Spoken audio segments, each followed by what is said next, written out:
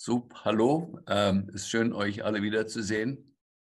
Ähm, die nächsten paar Donnerstagsvorlesungen, die wir machen, äh, da wird es ums Wasser gehen. Und äh, viele von euch wissen, dass äh, äh Gerald äh, Pollack, er hat praktisch entdeckt, äh, dass das Wasser an Grenzflächen organisiert sich selber auf eine Art, dass das Wasser, die Wassermoleküle so zusammenhängen, dass da kein einziges andere Fremdmolekül mit reinpasst. So ähm, als Spitzname Easy Water ähm, hat eine ganz besondere Funktion in unserem Körper. Und dieses Wasser kann natürlich dann abgefiltert werden als absolut sauberes Wasser, ohne dass Energie aufgewendet wird. Das ist eine selbstorganisierende Fähigkeit äh, vom Wasser in den Zellen. Das heißt, selbst säuberndes Wasser und alle Giftstoffe werden eigentlich dadurch aus der Zelle ausgedrängt. Und wenn wir diese Eigenschaften vom Wasser vermehren können, verstärken können, entgiften sich die Zellen selber, oder? Und wir wissen, dass es verschiedene Wellenlängenbereiche vom Licht gibt, äh, das äh, das Wasser braucht, um sich so zu organisieren. Äh, da gibt es also ganz, ja, ganz viel zu sagen. Und wir können ähm, auch einfach durch eine Saunatherapie zum Beispiel können wir diese Frequenzbereiche erreichen und das Easy-Wasser in uns verstärken. Ähm, es gibt viele Methoden, auch übers Essen äh, oder das Trinken von Säften, äh, das Easy-Wasser in uns zu vermehren. Das war mal der Stand bis vor einem Jahr. Und was so in den letzten Jahren sich ja infiltriert hat, unser Feld, ist der Umgang mit dem Deuterium äh, verarmten Wasser oder ähm, Deuterium depleted Wasser, DDW, DDW.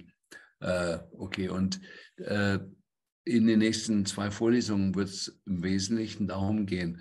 Die erste Vorlesung ist von Stephanie Seneff, die viele von euch kennen durch ihre tolle Arbeit ähm, über Glyphosat oder Stephanie Seneff äh, den Unsinn entdeckt oder die Gefahren entdeckt, wie über die Chemikalien, die in den Nahrungsmitteln, äh, bei der Nahrungsmittelherstellung verspritzt werden, welche Gefahren da auf uns lauern. Und ist erstmal auf den, auf den Weg gekommen, dass dieses Glyphosat, was das Hauptmittel ist, was verspritzt wird, ist einmal ist es wasserlöslich, das einzige wasserlösliche Herbizid, das dadurch ins Grundwasser eindringt, dadurch, dass es das wasserlöslich ist und von heute überall erscheint. Ja, und ähm, jetzt möchte ich ganz kurz nochmal zusammenfassen, worum es hier geht. Ähm, viele von euch wissen, dass in meiner Therapie gibt es drei Schwerpunkte, ja, wo ich sage, für eine gute Therapie brauchen wir drei Dinge. Wir brauchen gute Biochemie, gute Psychotherapie und gute Biophysik.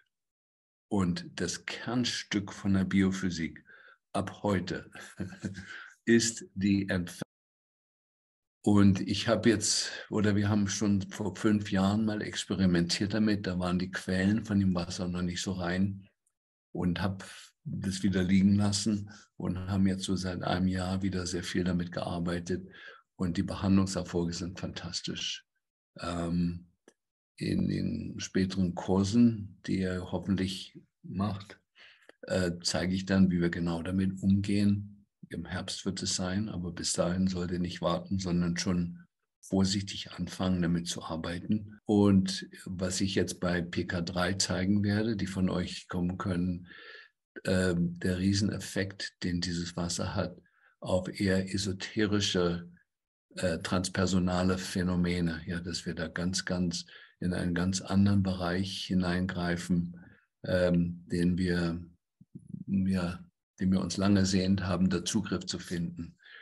Gut, damit möchte ich es erstmal lassen. Also erst die erste Vorlesung ist von Stephanie Seneff, das ist eine sanftere Hinführung über das Glyphosat zum deuteriumverarmten Wasser und dann äh, später von Petra Davila. Äh, Petra ist eine äh, ja, Ärztin aus den USA.